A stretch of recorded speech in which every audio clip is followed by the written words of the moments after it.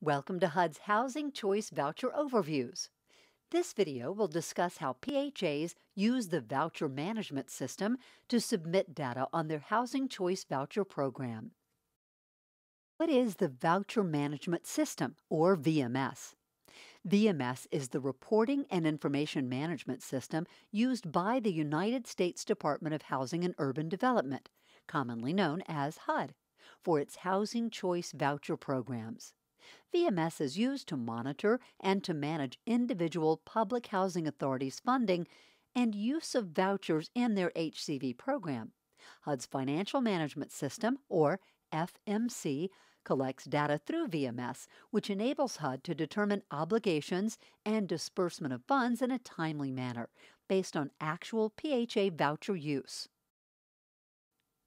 Public housing authorities, or PHAs, are required to report in VMS on a monthly basis. VMS can be accessed on HUD's homepage at this link. Click Login here and enter your login information.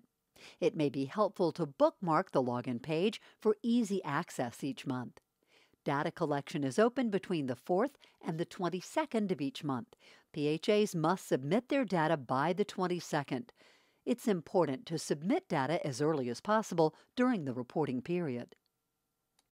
When you log in to VMS, you'll need to select your PHA.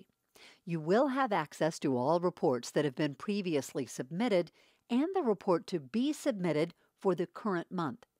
If a prior month correction, PMC, is needed, select the month to make appropriate corrections. To submit data for the current month, select the appropriate report for the current month. On the current month's report, you will see seven tabs across the top of the screen. Five of these tabs require data entry. The first tab is titled Voucher UML and HAP.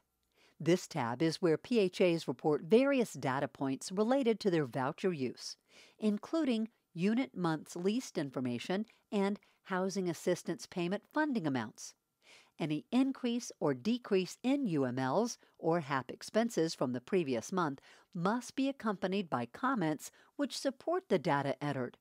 Comments must be clear and concise. The next tab is titled Other Income and Expenses.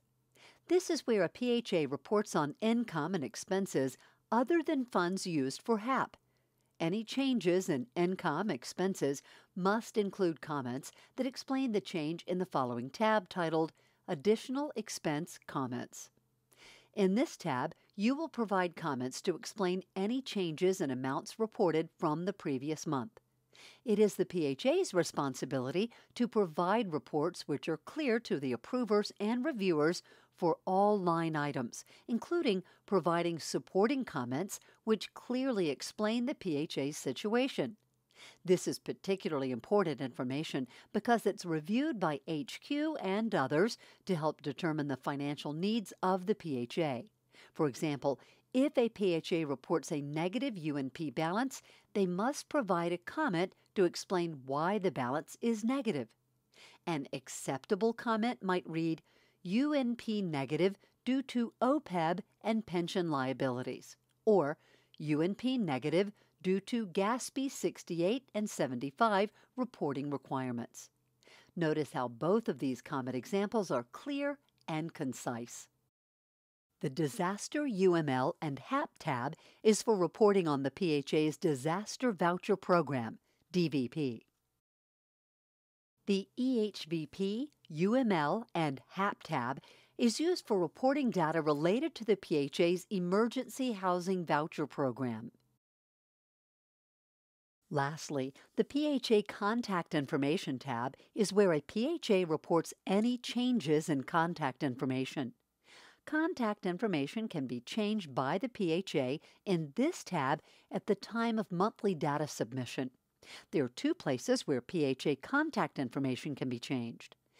Any contact information that is changed on the PHA Info tab at the time of the monthly submission will remain changed permanently. However, if a PHA updates their contact info via a PMC, it will only save for one month before it reverts to information that the system administrator entered. If a PHA wants to make long term changes to contact information, they should contact their PIC coach to request that permanent change be made in the system. Reported VMS data is reviewed, approved, and disapproved in VMS secured systems by FMC Financial Analyst, or FAs. FAs review data for accuracy, reasonableness, completeness, clear and concise supportive comments which address any changes, increase, decrease of UMLs, and HAP, and more. FAs utilize several reports that pull data from VMS reporting. The Budget Formulation Forecasting BFF report, the VMS Straight Face report, and the VMS Quality Assurance QA report will indicate any reporting errors or issues with the data that the PHA is reporting. If a PHA reports an increase or a decrease in certain data points from previous months, this will show as an error in the reports reviewed by the FA. PHAs must include comments to explain the change in data reported. If no comments are provided, the FA will notify the PHA that there is an error and the reported data for the current month is out of range. The PHA then has a chance to add comments to support the data reported. The FA will then review the comments and update the BFF, VMS straight face, and VMS QA reports to reconcile the errors. In this example, the PHA reported that they incurred total expenses of $1 million last month and $2 million this month. This would show up as an error out of range. The FA would reach out to the PHA to notify them of this error and prompt them to provide comments explaining why there is an error. An example comment for this scenario might be Due to the loss of tenant employment and increased rents, HAP expenses increased. The FA would then review the comments and update reports to reconcile the error. For more detailed instructions on how to navigate VMS, see HUD's VMS User's Manual at this link. This concludes the presentation on HUD's Voucher Management System. To learn more about the HCV program, please visit hud.gov forward slash HCV.